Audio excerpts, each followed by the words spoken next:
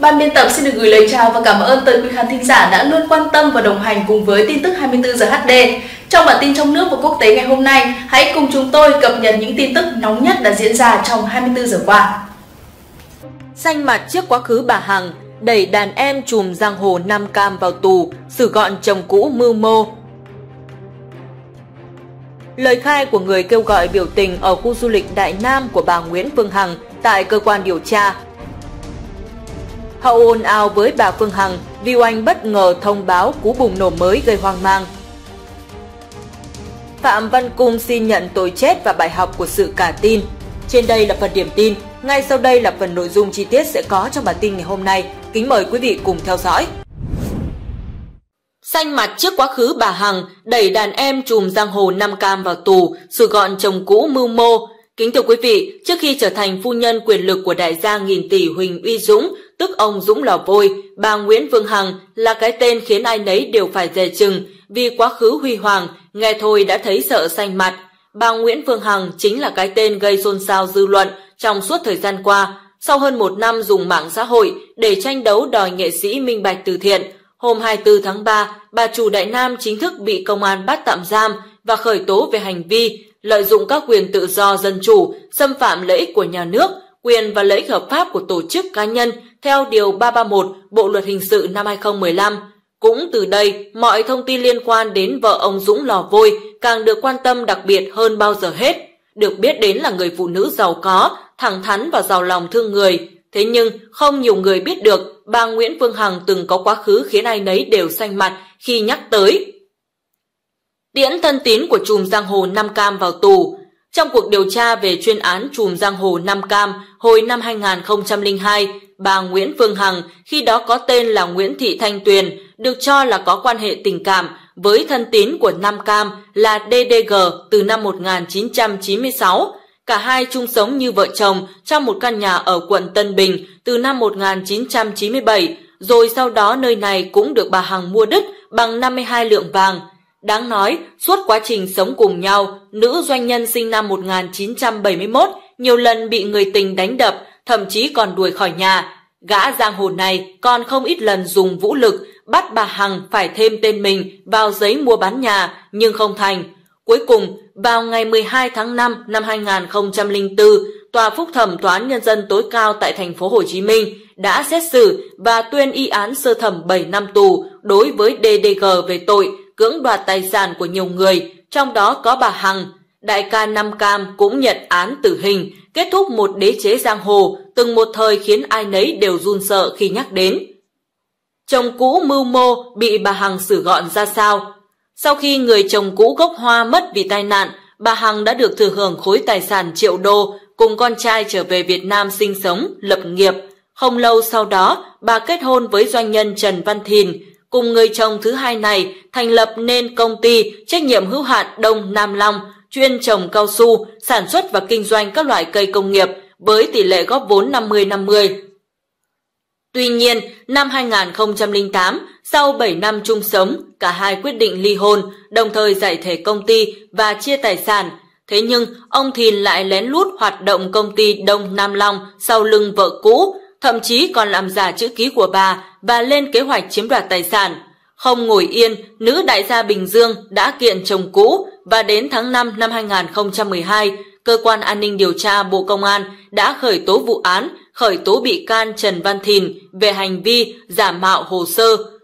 Trong quá trình điều tra đã thu được nhiều tài liệu, đơn thư vu khống nặc danh cho đến có chữ ký với mục đích hãm hại, gieo tiếng xấu cho bà Hằng và chồng hiện tại là ông Dũng Lò Vôi cũng bị ảnh hưởng bồi thêm tội danh vu khống, bôi nhọ người khác, ông Trần Văn Thìn cuối cùng đã bị vợ cũ xử gọn, đưa vào sau song sắt. Vườn cao su 170 tỷ mà bà Hằng nhọc công giành lại, cuối cùng trao tặng cho bộ đội Trường Sa. Hôn nhân đã ngưỡng mộ với ông Dũng Lò Vôi, quen nhau từ tháng 9 năm 2007 đến năm 2010, ông Huỳnh Uy Dũng và bà Nguyễn Phương Hằng chính thức trở thành vợ chồng. Hôn nhân của cả hai khiến ai nấy đều vô cùng ngưỡng mộ, không chỉ vì sự giàu có thành đạt của họ, mà còn bởi cách đối xử đặc biệt với nhau. Ông Dũng luôn trân trọng và yêu chiều vợ. Ông từng làm dân tình choáng ngợp khi đặt bộ hoa tai kim cương nặng 30 carat giá trị khoảng 3 triệu đô chuyển từ Singapore về để tặng bà Hằng nhân dịp kỷ niệm 5 năm ngày cưới. Chia sẻ về vợ, vị đại gia Bình Dương từng tâm sự, tôi vô cùng may mắn đã tìm thấy một tri kỷ, tri ân, một người rất thông minh và bản lĩnh, chính là vợ tôi hiện nay đã sát cánh cùng tôi trong lúc khốn cùng nhất của cuộc đời. Chính vợ tôi đã thức tỉnh tôi, khóc thay cho tôi và sắp xếp cùng tôi tìm một lối ra trong danh dự. Là người phụ nữ có ngoại hình, trí tuệ lại giàu có, bà Nguyễn Phương Hằng giờ đây lại phải chịu cảnh ngồi sau song sắt nhà tù vì những phát ngôn thiếu chuẩn mực trong lúc nóng giận. Cú sẩy chân của nữ đại gia Bình Dương là lời thức tỉnh, nhắc nhở đanh thép với tất cả mọi người và là bài học đắt giá ai cũng phải ghi nhớ để không đi vào vết xe đổ của bà. Lời khai của người kêu gọi biểu tình ở khu du lịch Đại Nam của bà Nguyễn Phương Hằng tại cơ quan điều tra. Quý vị và các bạn thân mến, sau khi nhận thông tin có người kêu gọi biểu tình trước cổng khu du lịch Đại Nam của bà Nguyễn Phương Hằng, cơ quan công an đã nhanh chóng khoanh vùng, xác định được đối tượng. Vào tối ngày 24 tháng 3, bà Nguyễn Phương Hằng bị cơ quan cảnh sát điều tra công an thành phố Hồ Chí Minh ra quyết định khởi tố tạm giam vì hành vi lợi dụng các quyền tự do dân chủ, xâm phạm lợi ích của nhà nước, quyền lợi ích hợp pháp của tổ chức, cá nhân. Thông tin này trở thành đề tài khiến dư luận phải bàn tán. Nhiều người ủng hộ việc xử lý nữ CEO Đại Nam, nhưng cũng không ít ý kiến trái chiều. Trong quá trình nắm tình hình trên không gian mạng, Công an thị xã Tân Uyên, tỉnh Bình Dương phát hiện một tài khoản TikTok đăng tải clip kêu gọi Phan Chính Nghĩa tụ tập biểu tình tại cổng khu du lịch Đại Nam ở phường Hiệp An, thành phố Thủ Dầu Một, tỉnh Bình Dương. Đây là khu du lịch do bà Nguyễn Phương Hằng làm tổng giám đốc. Sau quá trình xác minh thông tin, cơ quan công an thị xã Tân Uyên phối hợp cùng các đơn vị nghiệp vụ công an tỉnh Bình Dương đã xác định được danh tính người đăng clip, mời chủ tài khoản TikTok trên đến làm việc. Ngày 16 tháng 4, báo Dân trí đưa tin, chủ tài khoản cũng là người đang kêu gọi biểu tình ở khu du lịch Đại Nam, tên là Lê Văn Pờ, 32 tuổi, trú tại thị xã Tân Uyên. Người này bị lập biên bản vi phạm hành chính về hành vi tổ chức xúi dục kích động người khác, gây rối, làm mất trật tự công cộng, bị phạt 4 triệu đồng. Trong buổi làm việc với cơ quan điều tra, người này thừa nhận hành vi đăng clip của mình. Tuy nhiên, khi nói về lý do, người này khẳng định chỉ có mục đích câu view, câu like. Sau khi được nhà chức trách mời lên làm việc, Lê Văn Pờ nhận thức rõ hành vi của mình là sai nên đã gỡ bỏ đoạn clip trên.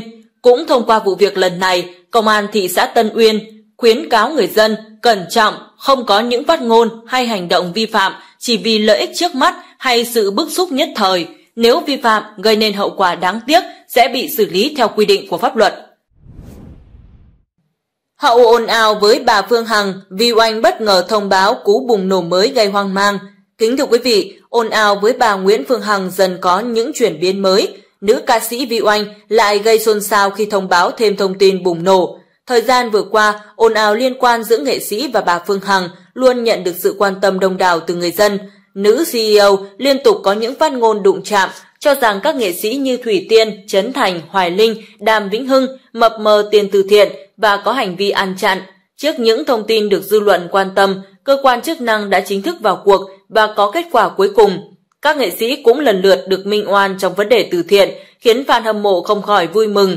Mới đây trên trang cá nhân của mình, Viu Anh đã có bài đăng mới gây chú ý và nhận được nhiều bình luận từ khán giả. Theo đó, Nguyên Văn Đoạn chia sẻ, để chuẩn bị cho những cú bùng nổ chiếu chiếu sắp tới, mẹ cháu dạo này bị lười áp vây, các cô chú inbox nhớ nhung mẹ cháu áp đỡ tấm hình hơ hơ này nhé. Buổi tối mùa hè mát lạnh, vui vẻ không quạo nha cả nhà yêu dấu. Theo đó, Vi Oanh mập mờ chuyện bản thân đang dồn sức chuẩn bị cho một sự bùng nổ sắp tới. Được biết, cô là một trong những nhân vật quan trọng trong việc tố cáo bà Phương Hằng vì những hành vi sai trái trên mạng xã hội suốt thời gian qua. Dưới bài đăng, nhiều khán giả mong chờ Vi Oanh có thể chiến đấu với bà Phương Hằng và trả sự bình yên cho cư dân mạng, cũng như bắt nữ CEO phải chịu hậu quả mà bản thân gây ra suốt một thời gian dài. Tuy nhiên, giọng ca đồng xanh cũng không đưa thêm thông tin chi tiết về sự bùng nổ sắp tới. Có thể cô chỉ đang tập trung vào sự nghiệp hoặc chuyện kinh doanh của bản thân thay vì tiếp tục tố cáo bà Phương Hằng. Sau khi cơ quan công an bắt tạm giam nữ CEO thì công việc của Vi Oanh chỉ còn là chờ kết quả cuối cùng từ cơ quan chức năng. Trước đó, cơ quan cảnh sát điều tra công an thành phố Hồ Chí Minh đã phục hồi việc giải quyết nguồn tin về tội phạm, ra quyết định khởi tố vụ án hình sự, khởi tố bị can vào ngày 24 tháng 3 năm 2022 đối với bị can Nguyễn Phương Hằng liên quan đến tố cáo của ca sĩ Vi Oanh. Vào ngày 25 tháng 10 năm 2021, ca sĩ Vi Oanh tố giác tội phạm, tố cáo bà Hằng lợi dụng mạng xã hội nhiều lần tổ chức livestream phát trực tiếp để thực hiện hành vi vu khống, làm nhục nữ ca sĩ, cũng như lợi dụng các quyền tự do, xâm phạm lợi ích của ca sĩ này. Trong đơn tố cáo, ca sĩ Vi Oanh trình bày, từ ngày 16 tháng 5 đến ngày 9 tháng 10 năm 2021, trong các buổi live stream, bà Hằng đã sử dụng ngôn từ phản cảm, giọng điệu quy chụp không có căn cứ với mục đích bôi nhọ, vu khống xúc phạm ca sĩ Vi Oanh. Sau khi phục hồi điều tra trên cơ sở đơn tố cáo của Vi Oanh, chiều ngày 24 tháng 3, Viện Kiểm sát Nhân dân thành phố Hồ Chí Minh đã phê chuẩn các quyết định khởi tố vụ án, khởi tố bị can và lệnh bắt tạm giam 3 tháng đối với bà Nguyễn Phương Hằng.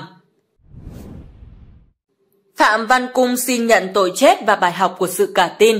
Kính thưa quý vị, một bất ngờ xảy ra ở phiên tòa xét xử bị cáo Phạm Văn Cung về tội lừa đảo chiếm đoạt tài sản. Bị cáo xin được nhận hình phạt tử hình. Sáng 14 tháng 4, Tòa án Nhân dân tỉnh Vĩnh Long tiếp tục xét xử bị cáo Phạm Văn Cung, 40 tuổi, từng trụ trì chùa Phước Quang ở huyện Tam Bình, tỉnh Vĩnh Long và Nguyễn Tuấn Sĩ, 54 tuổi, lái xe ôm cùng về tội lừa đảo chiếm đoạt tài sản. Đại diện Viện Kiểm sát Nhân dân giữ nguyên quan điểm như cáo trạng truy tố, đề nghị tòa tuyên bị cáo Phạm Văn Cung mức án trung thân, bị cáo Nguyễn Tuấn Sĩ từ 3 đến 5 năm tù. Nhưng điều bất ngờ là Phạm Văn Cung không những xin giảm nhẹ hình phạt, mà ngược lại là xin tăng nặng, nặng ở đây là tử hình. Phạm Văn Cung thừa nhận bản thân là người không tốt, mức án trung thân mà đại diện Viện Kiểm sát Nhân dân đã đề nghị chưa tương xứng nên xin nhận mức án tử hình. Bị cáo gửi lời xin lỗi đến các bị hại, người thân và cảm ơn các cơ quan tố tụng. Đương nhiên, luật pháp không có chuyện xin cho. Hội đồng xét xử căn cứ vào hành vi vi phạm, các chứng cứ khách quan tại phiên tòa để lượng hình, đảm bảo đúng người, đúng tội và đúng pháp luật. Trước tòa, bị cáo có muốn giảm nhẹ hay tăng nặng hình phạt cũng không có quyền cho. Phạm Văn Cung có xin tội chết thì bản án cũng không thuộc về ý chí của ông ta, ý chí của cá nhân ai trong các cơ quan tố tụng. Hội đồng xét xử thuộc về quyền năng của pháp luật. Xin không bàn thêm về chuyện xin được tử hình của bị cáo Phạm Văn Cung mà nói đến khía cạnh của lòng tin và sự cả tin. Nếu Phạm Văn Cung không phải là Đại Đức Thích Phước Ngọc, chủ trì chùa Phước Quang thì chắc khó có thể lừa được gần 70 tỷ đồng từ các nhà hảo tâm mà chủ yếu là Phật tử. Những nhà hảo tâm có sự quan tâm đến những hoàn cảnh khó khăn trong xã hội đã sẵn lòng hỗ trợ cho trung tâm cô nhi viện Phật giáo suối nguồn tình thương nuôi dạy trẻ mồ côi mà Phạm Văn Cung làm giám đốc. Điều đó là bình thường, nhưng chỉ qua vài cuộc điện thoại có thể tin được Phạm Văn Cung bị bắt cóc rồi chuyển ngay tiền tỷ để giải cứu. Đó là cả tin. Tin Phật nhưng không tin những người lợi dụng tu hành để làm điều bất chính. Muốn vậy thì lòng tin không mù quáng và phải có sự suy xét. Cũng giống như tin giáo lý Phật giáo nhưng không chạy theo những hình thức mê tín dị đoan, bói xăm, cúng đốt vàng mã để mặc cả với người âm, đồng bóng. Nói cả tin cho dễ nghe nhưng bản chất đó là sự mê muội